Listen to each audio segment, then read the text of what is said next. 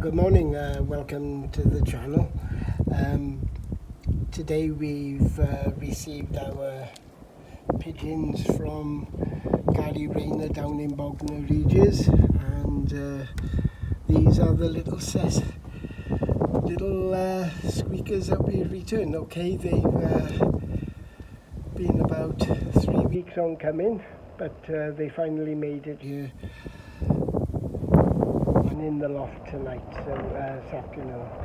So they'll have a nice little look around today and then we'll put a bath in for them and hopefully by Sunday or, or Monday they uh, can have a walk about. But yes, they're finally here.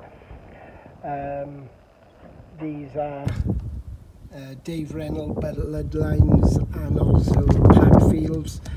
Um, I know that uh, Gary has got a, a good selection of uh,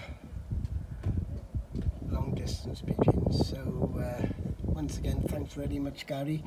They've had a drink now and hopefully uh, we'll be able to uh, have some success with them. Um, yeah, and uh, yours should be away from me and you should be having them by next week.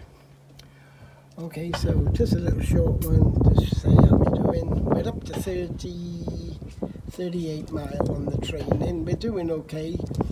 Um, we got a few injured. Um, but yeah, I'll, I'll do an, another update and uh, show you them young birds again.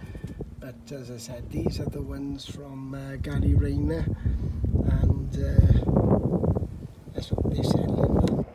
Thanks for now and I'll speak to you soon. Bye bye.